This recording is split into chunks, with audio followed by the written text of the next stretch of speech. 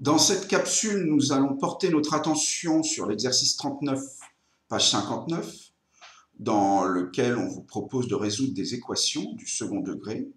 Donc là, on est dans le cadre euh, classique de l'application de la méthode du discriminant, puisque ni les termes B ni les termes C des, des trinômes ax carré plus bx plus c sont nuls.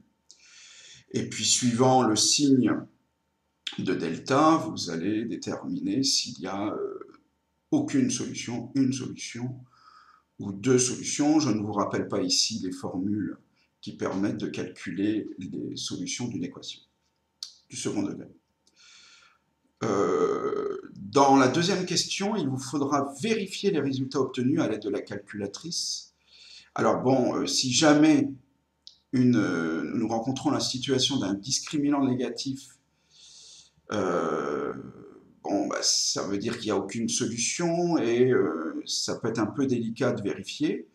Mais en quel cas, bah, il faut, euh, ça risque d'être très délicat. Il faudrait construire, par exemple, la courbe représentative du trinôme du second degré et puis de constater que cette courbe n'a aucun point d'intersection avec l'axe des abscisses. Bon, alors on va imaginer quand même qu'on est dans une situation où il y a une ou deux solutions.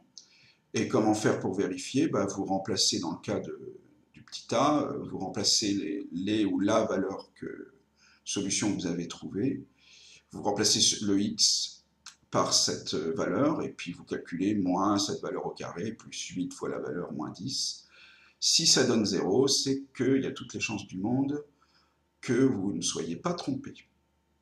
Alors attention à l'éventualité de, racines euh, non entières ou non décimales, quel cas euh, il est possible que vous ne trouviez pas très exactement zéro, mais ce qui n'infirmerait pas forcément le résultat pour autant. Euh, si vous êtes très très proche de zéro, c'est que la calculatrice a effectué des arrondis.